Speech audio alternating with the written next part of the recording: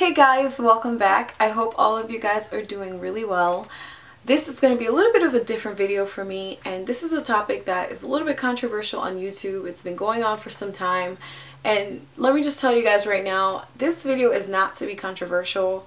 It's more of me trying to let you guys know where I stand when it comes to video reviews and sponsorship with my channel. Like I just want to let you guys know what you can expect of me on my channel personally. So this is not something that is like, you know, back and forth, like let's get at each other's throats. I just want to make it clear where I stand and let you guys know what you can expect of me because you guys watch my videos. Now, as my channel is growing, I have noticed a lot more companies contacting me to do video reviews for products and hair and all sorts of things.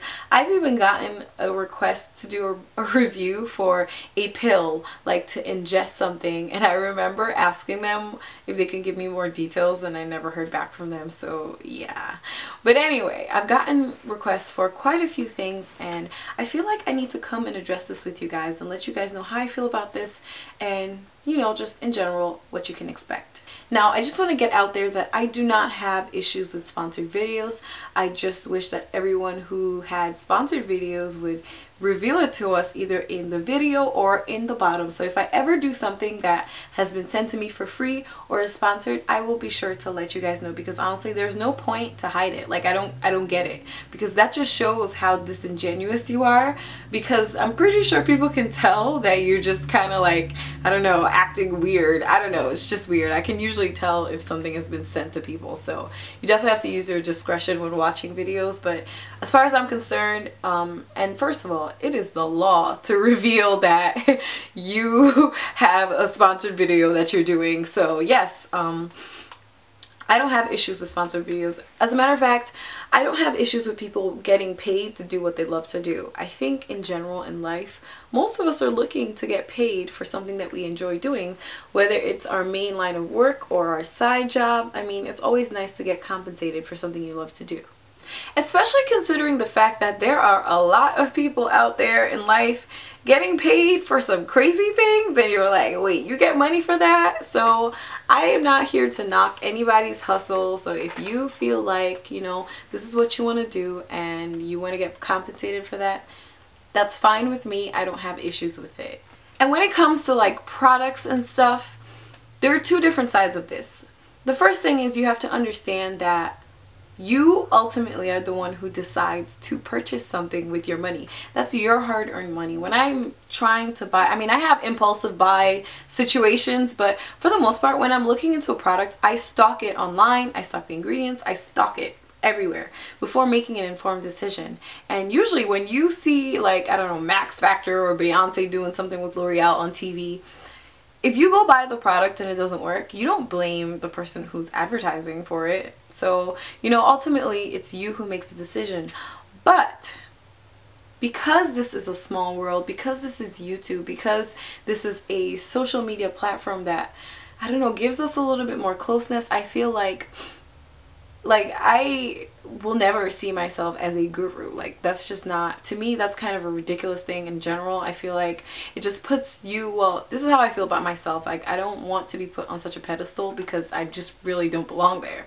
Because to me I'm just a video maker. I'm someone who put a camera in front of my face and I'm talking. And like-minded people agree with me or might disagree and we share together. If I see something that I like and I get excited about, I want to share with you guys so you guys can have the same experience. And I feel like we're on the same level playing field.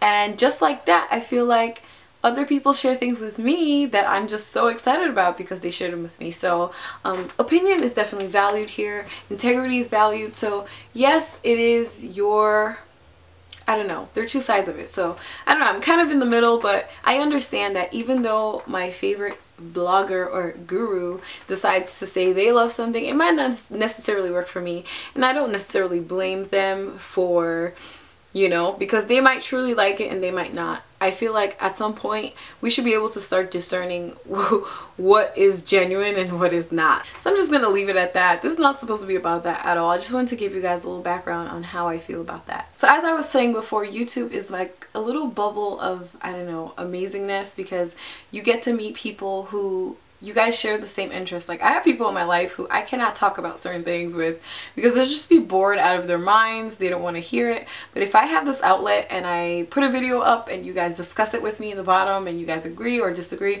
like that gives me great joy. I don't know why. It's just so much fun to me and I just enjoy the outlet. So for me, your opinion is like the most important thing to you. That's the most important thing to me here. And I know that there are a lot of people who ask me my opinion about different things I've tried and a lot of people who take my word for what I've said. So I want to make sure that I'm being as truthful as possible. And I also want to make sure that everybody knows that this is what works for me. So I am making this video to tell you guys or let you guys know what you can expect of me from a product review and as a company what the company can expect of me as somebody who's who might potentially review their products. Number one, I will always tell you guys if somebody sent me something to review for free, like if it was just hey check out my I don't know jewelry and please let me know what you think or maybe if you have time be sure to make a video, that kind of thing. I'll let you guys know, hey, these things were sent to me to try out and do I like them, yes or no, but I will definitely tell you and if I don't verbalize it, it will be in the description bar. I'm not trying to break the law here and for some reason I feel like if you don't reveal that it's being sponsored, I feel like that's, I don't know, there's no point to that because I think for the most part people can tell when something is sponsored because there's just a different way of communicating something when you're getting paid for it. I don't know. So if your if your viewers know, then I feel like you can feel more relaxed to share your opinions about it as opposed to trying to hide it because I feel like that shows right through the screen and I could definitely tell a lot of times when things are sponsored and they don't mention them. Especially when there are a whole bunch of people with the same product at the same time and it's so amazing and I'm just like, okay, none of these people wrote that it was sponsored anywhere and clearly it's sponsored. So there's going to be none of that here. If someone sends me a product, I will let you know. And as a company, you need to understand that I will let people know that I was sent the product or I'm getting some sort of compensation for it. Number two, this is so important to me. It has to be something that I want to use myself. Like I am in a stage in life where I am all about decluttering. I'm trying to get rid of things. You guys know I lost weight. I've like I'm trying so hard to get rid of my clothes. Like I've gotten rid of bags and bags like giving away and stuff and I still feel like I have too many. Like I'm trying to get rid of things. So sending me something free does not make me feel like I don't know. I appreciate it, but I guess what I'm trying to say is just because you offered it to me for free does not mean I'm just going to take it and do a review because it's free. Like it has to be something I want. It has to be something that I want to purchase and I want to keep and I want to use and ultimately want to share with you guys. Um, so yeah, I'm not going to accept something that has no, like I am not a carpenter okay so if somebody offers me some sort of carpentry tool like it will make no sense for me to sit up here and be like yes this is a wonderful whatever buy it like that's it just makes no sense it's just gonna clutter me some more and I don't want it so it I welcome the requests for reviews but understand that if it's something that I myself don't see myself buying then I probably won't accept to do the review and that's just the way it's to be. I'm not desperate for free things. Like, I'm just really not. The second thing is I need enough time to test the product. I am very detail oriented. I want things specific. Like, if you know me, you probably know how annoying I can get when it comes to details or asking a million questions about something very, I don't know. I'm just very detail oriented. So I need time to test out a product. Like, don't send me a request to do a review for something or send me something to review and expect me to do a video the next day being like, oh, this is so wonderful when I haven't had enough time to try it. For me, depending on what it is, like if it's hair, two to three months usually tells me how good or bad a particular hair is um, especially depending on how often I wear it. Like if I use it every day then you know two to three months is definitely enough time. If it's something that I just take off and put back on you know three four months five months so that's that's how I work you know so or you know I would do an initial review show you guys what it looks like before and then come back a couple months later and do an update and you guys have seen me do that already you guys even see me like when I do products and all the products and everything I've reviewed so far I've bought myself. But when you see me do product reviews, you notice that I have used it quite a few times. I don't want to bash a product before it is before I really know how I feel about it because sometimes we tend to use things wrong. So I try different ways, like I try different hairstyles, like the Dark and Lovely products, which got a lot of, I don't know, mixed reviews and I'm like, well, I don't know, but that's for a different video. We're going to talk about. It. I want to give it enough time. I want to give the product a chance to really like grow on me or not grow on me. Like I need to know the ins and outs. The fourth thing you can expect is complete honesty. I will be honest because I just, why wouldn't you be? I will give you the good and the bad.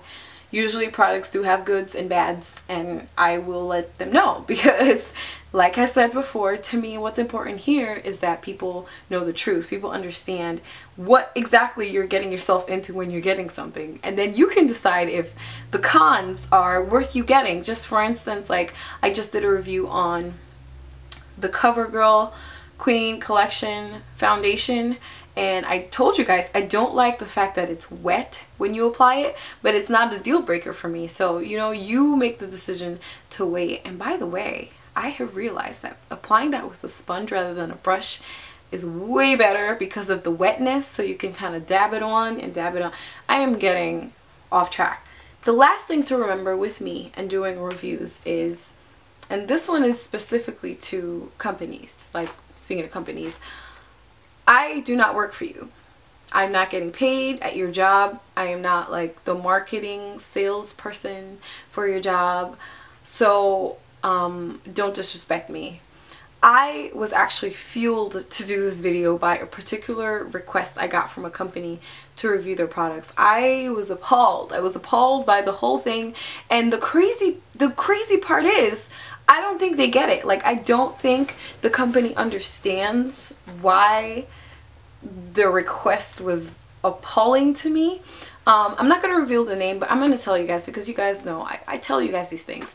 So a company contacted me to it's a nail company and not to be stereotypical but it is a Chinese nail company they're based in China and there is a reputation with a lot of Chinese companies not liking the people who are their biggest what is it called consumers. They don't like their consumers. They just want to get their money and give them crap anyway. Like, do whatever you want, just give me your money, and I don't care about the quality. But that's not really what we're talking about here. What we're talking about here is this company that is Chinese based that sent me a, a request to review their products. Now when I get a request like this, I read everything thoroughly and they told me that I can pick one of the items from a list. So they give me a link of five items that I could pick from to do a review of. So, and this is in the middle of the night. So when I woke up in the morning, I started clicking on the stuff and then I had to go back and reread this email and they tell me that they are a nail, primarily a nail and arts based, like nail art based company. So when I'm looking at the products that they're asking me to review, I'm like, Wait, there are no nail products here. You guys know how when you walk into a beauty supply store and the primary thing that they're selling is the hair and the, the products but on the side you got them little trinkets them little cheap chains and earrings on, on the corner that's kind of what it was. So they have little cheap eyeshadow. They have a little headband that looks like this. Um, they had what else do they have some weird cheap looking sunglasses. I can't even remember what else. So, some eyelashes. And they wanted me to pick one item from that list to do a review of. And I was like, okay, like what's what's happening here? Like I just was taken aback because I'm like, okay, so let me get this straight. Let me rewind. You specify in nail products. You're asking me to do a review but none of the items that you're giving me an option here are for what you sell in your main company. So you are giving me an option to review the side stuff. Like you're so cheap that when you ask me to do a review for you, you ask me to do a review of the side stuff, like the little junk, little extras. I was like, what? Like, I just was so floored by that. I'm like, so what the heck? So you want me to say, hi, hi you guys, welcome to my channel. This is a wonderful headband that I got from, um, uh, whatever company. Yes, yeah, so you guys, this band, this, this headband was so amazing that you should go buy their nail products. Okay. Yeah. Yeah. Don't make no sense. So I was like, I actually replied this one. I was like, um, so you tell me you're a primarily nail-based company. That's what you guys do. And then everything else is extra. So why would you not give me an option for nail stuff? And they replied back to me and told me, well, you know, we couldn't really tell exactly what you wanted from your, or what you would like from our website. But the bottom line is we didn't give you those options because, you know, we had already sent out many video requests or many options to other people and those other things are just kind of our rough and are, those are just our extras. So wait, you want me to market for you for your extra crap? Like that's disrespectful to me. That is disrespectful. You don't. Like don't do that. Don't disrespect me. I don't work for you. And I was I was watching somebody else's video who reviewed products for them and she still did the video which kind of was strange to me because I'm like why did you do this video and it was like one item and she was saying something like she wrote to them and they told her that they were they sent her only one option of items because they wanted to test her out. And if they liked her for as far as how she made her videos then they would send her more stuff. I don't need free stuff like that okay? Like I would understand if you have a website and you have an assortment of products or things and you send somebody like a couple different samples so that I can be able to decide if the quality overall of your website is up to par. If I can sit here and recommend that to someone. Like, what the heck? Like, you guys, tell me if I am off base. Like, is this me? Am I being crazy? Because I felt disrespected. I was just like, are you serious? I was like, I, I, I decline. But the thing is, they sent me another email, like, really trying to justify why it was okay that they told me to review their scraps. No. Like, I don't work for anybody. If I do a review, it's because I want to. It's because I see myself buying that product. It's because I see myself, I don't know, like or if you're a company and I feel like you know what I love your products I really want other people to you know see your products and buy them then sure I'll do a review for you I'm not asking for compensation you know what I mean like I, I will do the review but don't disrespect me like that don't think that I work for you don't test me out to see if you like my video and then you send me more things. I don't need your things. I just don't. I'm sorry you guys. This just turned into a rant real quick. But I just like I just got taken right back to the moment where I read that um read that email. I would just I just felt disrespected. I'm like that's like walking to a beauty supply store or uh, that's like that's like a hair company contacting me and telling me to review their brushes. What type of stuff is that? Like where they do that at? Where? So that's that's kind of, I know this video ended up being all over the place, but I just wanted to give you guys an idea of what you can expect of me. You can expect honesty, you can expect being thorough, you can expect the good with the bad, you can expect um, a reasonable amount of time for me to be able to properly review the product and you can expect that I will be reviewing things that I only believe that I would purchase myself because I, I just I don't have time for clutter. I've gotten quite a few requests from companies so far. Um, there's only one that I have um, sort of inquired more about to see if that's something that I would personally want to get. But um, I'll definitely let you guys know, but I just really needed to come over and share with you guys, let you guys know where I stand with this, just in case you see something on my channel, you know, you already know how I feel about it. Whew. Yeah, so thank you guys again so much for watching it just had to be done. Again you if you have any comments questions leave them in the bottom. I'd love to know.